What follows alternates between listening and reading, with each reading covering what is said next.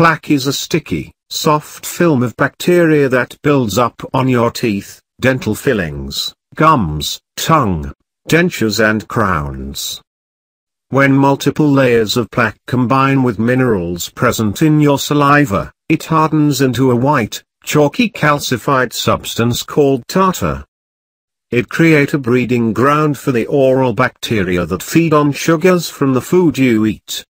In addition, it forms acid during this process that breaks down the tooth enamel, leading to dental cavities. Bacteria also produce toxins causing various periodontal problems.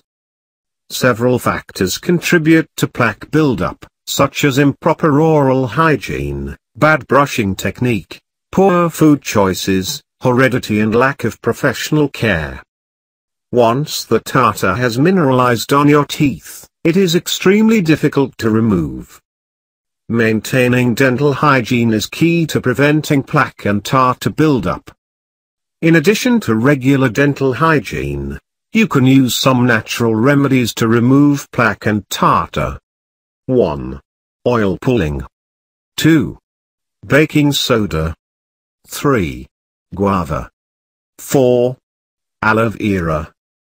5. Cloves. 6. White vinegar.